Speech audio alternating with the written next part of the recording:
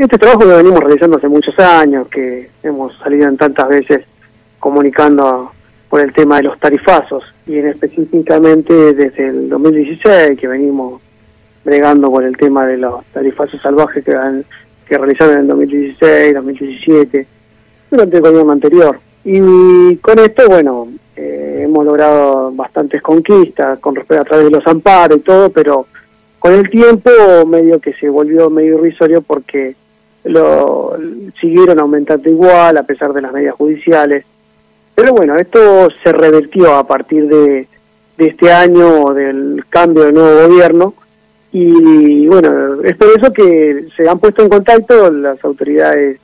eh, nacionales de, de Nargas, que a través que, que su interventor es, es, el licenciado Federico Bernal,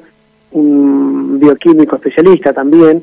eh, y se pusieron en contacto con nosotros porque sabían de nuestro planteo, quiénes somos nosotros, cuando digo, el sindicato de trabajadores municipales, y bueno, en mi caso yo soy el asesor legal, que también integramos la multisectorial,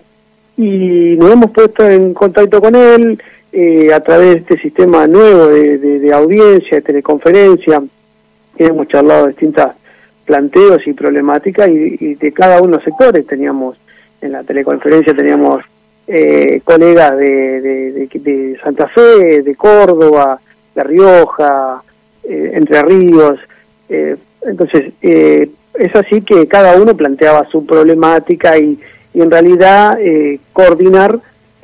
propuestas de trabajo para, bueno, que de hecho la semana que viene ya vamos a tener nuevamente en contacto con este tema.